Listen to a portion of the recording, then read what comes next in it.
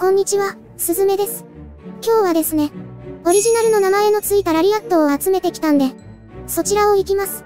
この、プロレス技の最も有名な技の一つでもあるラリアット。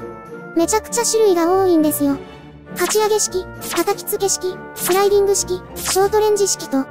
他にも山ほど種類があって、また曖昧な部分も多くて、長州選手が使うラリアットは、力ラリアットと呼ばれても、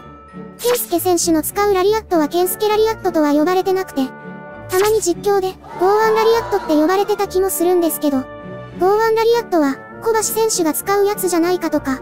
武藤選手のフィニッシュホールドはムーンサルトなのか、ラウンディングボディープレスなのかみたいな。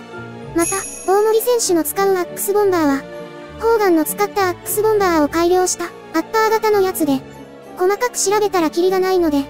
これは浸透してるんじゃないかとか、これは珍しいんじゃないかってやつを抜粋しています。かなり曖昧な部分もあるのでご了承ください。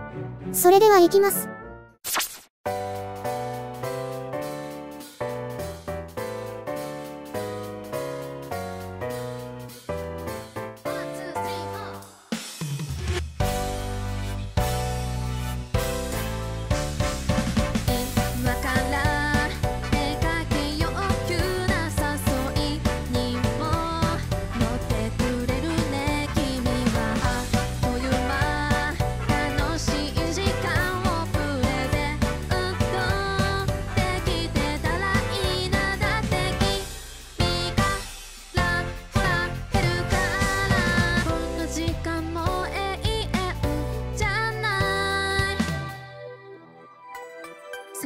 遊び尽くそう